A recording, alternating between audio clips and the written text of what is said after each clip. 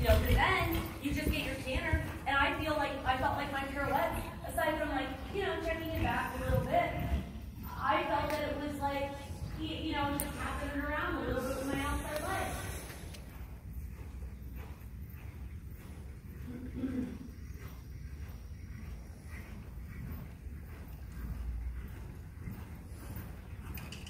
So this looks too slow, too dead, too time. I think so. I mean. And then when I'm trying to push it up, and then I let it like with fingers, then.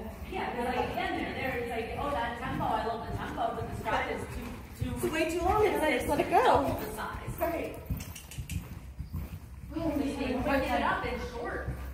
It's like, And then I can't keep the energy. I'm having a hard time finding that balance between the two right now.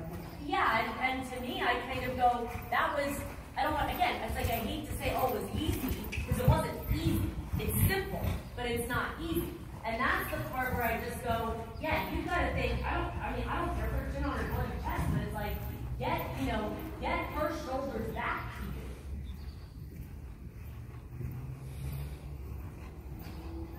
Because I think a lot of times you're taking half off and I see absolutely nothing happening with her shoulder. Where it's like, I'm not shocked. I like I don't care if she's like bloody, you know, inverted. But I'm like, that when we saw Slave Healing when you picked up the left period. Yeah, back and back. Use your knee. Okay, feel the difference there? Yes. You know, and it's like I don't want to advocate with her mouth off. Yeah, yeah, yeah. Enough, I, just, I just need to tighten. You better do something.